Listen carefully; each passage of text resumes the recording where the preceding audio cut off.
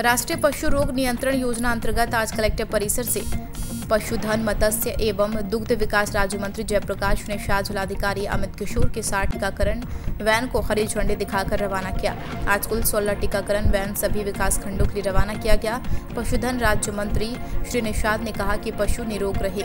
इसके लिए माननीय प्रधानमंत्री जी एवं मुख्यमंत्री जी द्वारा राष्ट्रीय पशु रोग नियंत्रण कार्यक्रम संचालित किया गया, जिससे कि हमारे पशुधन निरोग रहें और बीमारियों से संक्रमित न हो। ऑनलाइन हिंदुस्तान के लिए दिवारे से ब्रजेश कुमार गुप्ता की रिपोर्ट।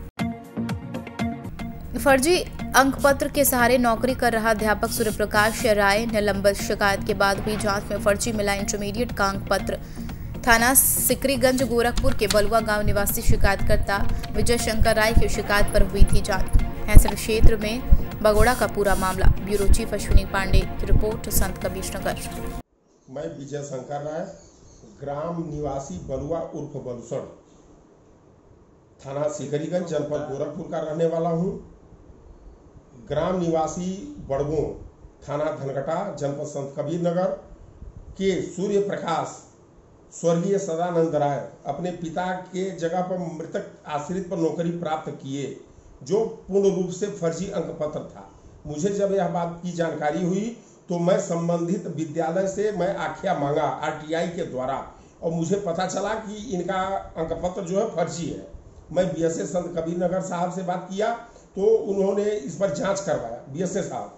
और उसके बाद वहाँ से जो संपूर्णानंद से जानकारी मिली, पूर्ण रूप से इनका पत्र फर्जी है।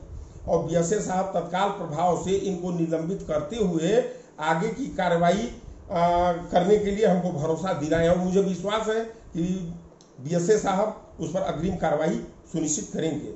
मैं इसके बाद भी इस तरह की लड़ाई में भागीदार बना रहूँगा और आगे लड़ाई में लड़ता रहूँगा। नवनियुक्त वरिष्ठ पुलिस अधीक्षक गोरखपुर द्वारा सुरक्षा के दृष्टिगत गोरखनाथ मंदिर का निरीक्षण किया तथा उचित दिशा निर्देश दिए। इस अवसर पर एसपी सिटी सीओ गोरखनाथ, आदि कर्मचारी गण मौजूद रहे। ब्यूरो चीफ विपिन कुमार सिंह की रिपोर्ट गोरखपुर।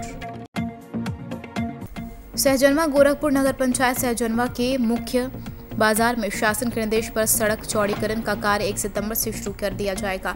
राजस्व टीम द्वारा जिन जिन स्थानों को चिन्हित कर निशान लगाए गए हैं, उन जगहों पर अतिक्रमण हटाने का कार्य समय से शुरू कर दिया जाएगा। मुख्य बाज़ार में जिन लोगों ने सरकारी भूमि पर अतिक्रमण किया, वह लोग समय से अवैध कब्जा हटा ले, जिससे सड़क चौड़ीकरण में कोई बाधा न आए। यदि समय से अवैध कब्जा नहीं हटाया गया तो प्रशासन द्वारा सख्ती से अतिक्रमण हटाया जाएगा। अमित कुमार सिंह की रिपोर्ट।